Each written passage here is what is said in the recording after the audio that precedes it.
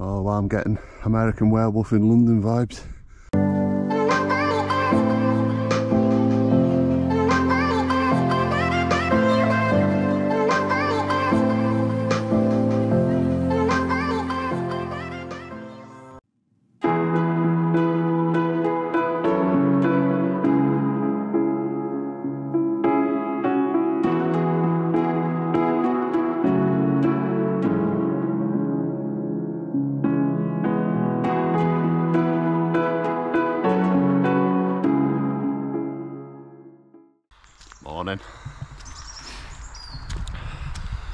Wales. Can't say wet and windy Wales because it's not. So I'm back in the Loggerheads area, but I'm not doing the Loggerheads walk. I'm going up something today called Moel Findeg, I believe it's called probably slaughtering the pronunciation, but it's a stone's throw from the walk I did last week up Moel Famau. It's across the road from Loggerheads. There's a little lay-by by the path that I start on. It's free.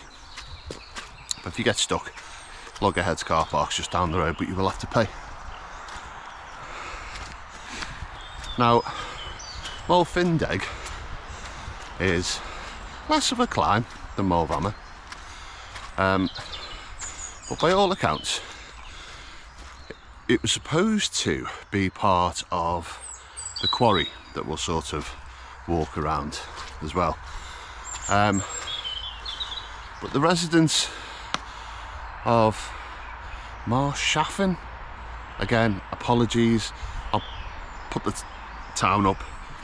They um, they all got together and they raised a little over £450,000 to buy this hill. Um, and now it's part of the Clwydian Range and the uh, Dee Valley area of natural beauty. If the mist lifts, there's meant to be quite a decent view from the top. So, I'm starting from the bottom as you do on hill walks. Well done, Mike. Um, up skirting round to the side of Moel Findeg, then I'll climb Findeg, see what I can see, and I'm going to push on around something called Burnley Hill, Burley Hill. My memory's dreadful. Um, there's another quarry up there as well. So, going to go up around that and back down through Marsh Maeshafn or whatever it's called back to the car. All in all, about six point something miles, uh, three hours or so. What I might find on the top of these hills are ponies. Um, because apparently we've got wild ponies up here to help keep the heathland in check. So, let's go see.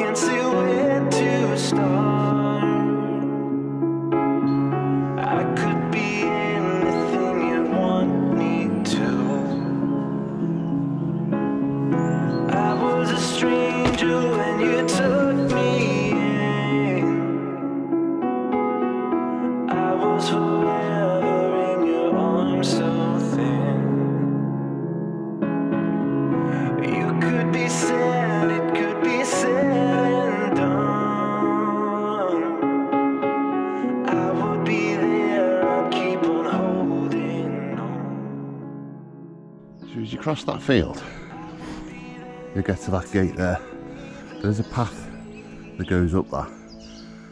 And this isn't signposted. We come through that gate, all the way across the farmer's land, through the kissing gate. Carry on.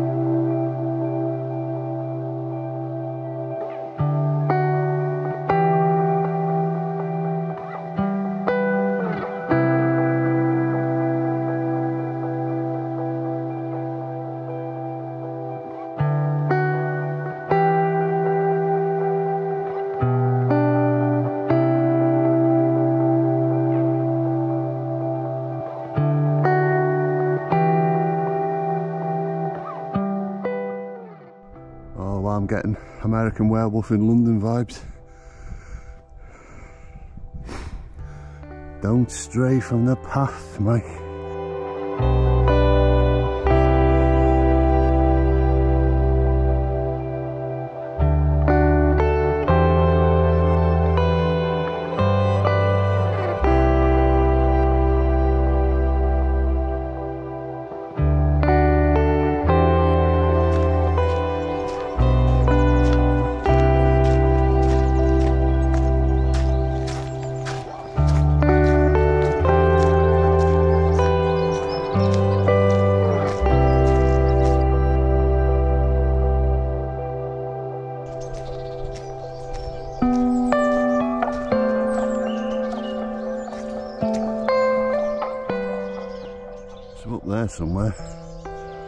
Is Findeg.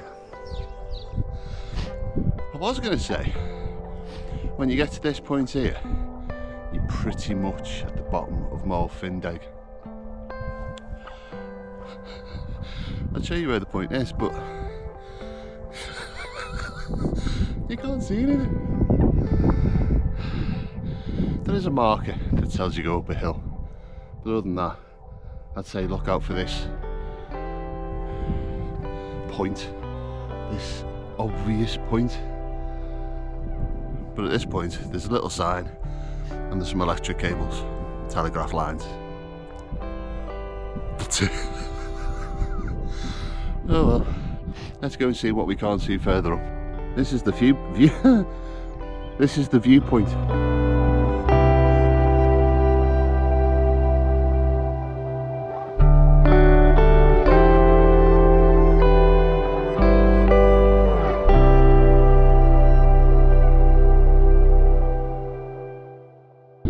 Super tip from Mike. If you're not confident map reading, don't come in the fog. It appears sketchy. I mean, this could be worse. It could be down to like here. But we're skating around a quarry and you've come for a view, so there are drops. So maybe pick a lovely day and do this walk. And be, that, that'd be my advice anyway. Come on a nice day. I'm sure the views from up here are absolutely amazing. It's just today, they're just not.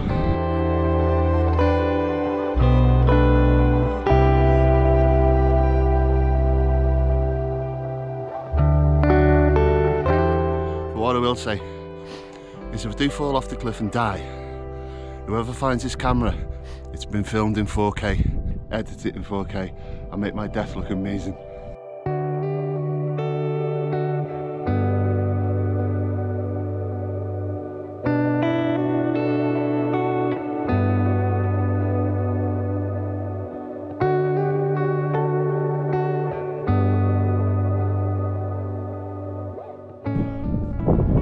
Oh my god, there's um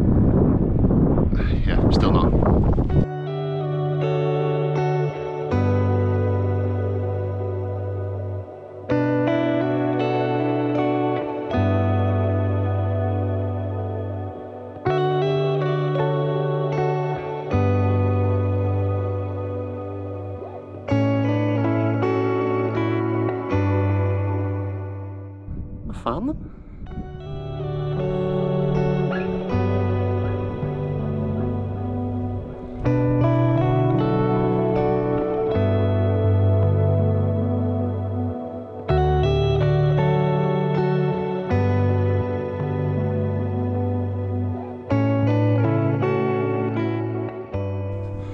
So it just goes to show how misty it's been.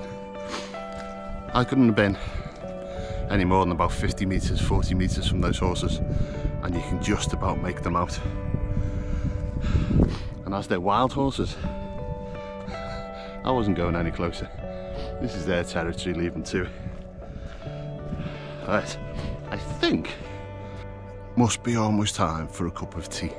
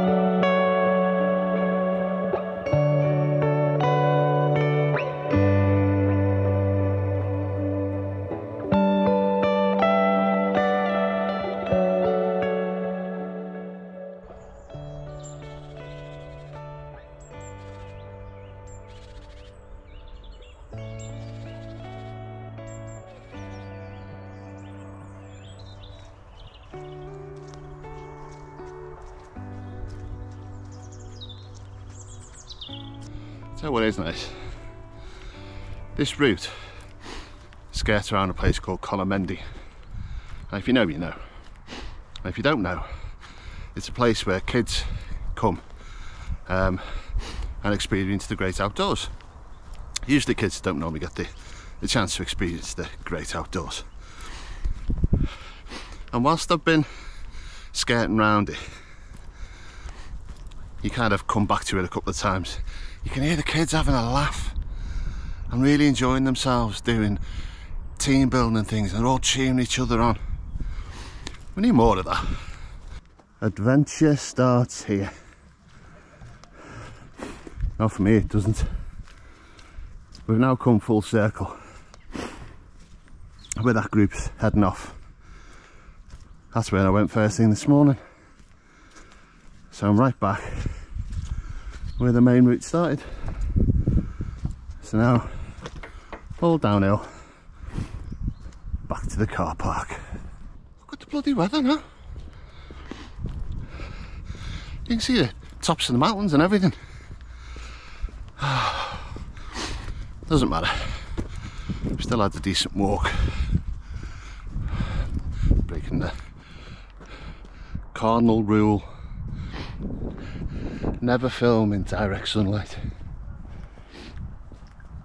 Anyway, mist or no mist,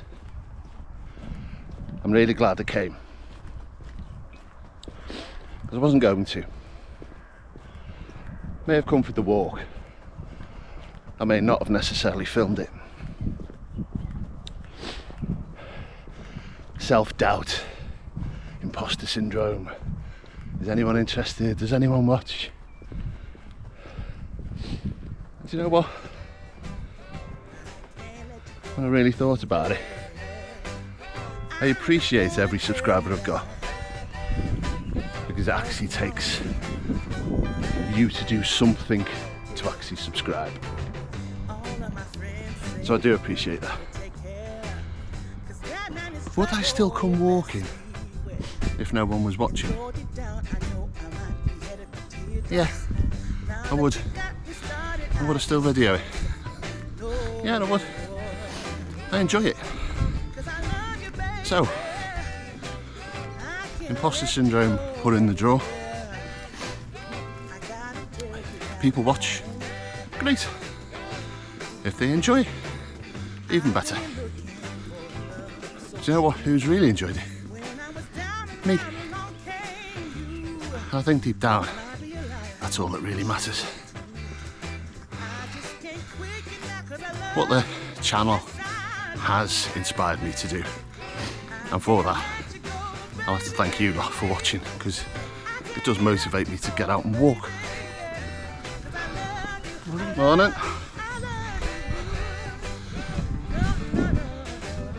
Talk to strange men. Yeah, so it encourages me to get out, drag myself out on whatever weather on a Sunday morning, put my walking boots on, and get out into the rather wonderful countryside. So, despite all your letters of complaint, I am going to continue making these films. Because if nothing else, it might even inspire just one person just to go walking. And if that person's me, I need it. So, probably going to end here. You've already seen me walk up here and you know what the car looks like. So, until the next time, thanks for watching.